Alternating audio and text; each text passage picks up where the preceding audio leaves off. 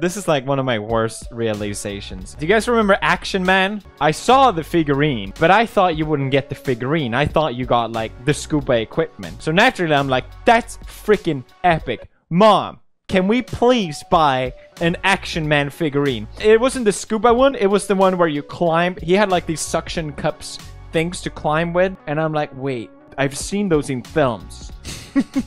Imagine my disappointment when I found out their suction cups weren't a real thing. This is false. It was false advertising and it crushed my hopes and dreams. And you know what? I might just buy the real things right now. eBay. Frickin' now I'm a millionaire and I'm an adult and I'll get those suction cups. Suction cup wall climber. I don't even care. I'll get the suction cup things. God damn it. Can someone make me suction cup climbing things? Because I was planning to climb my best friend's house and be like, lol,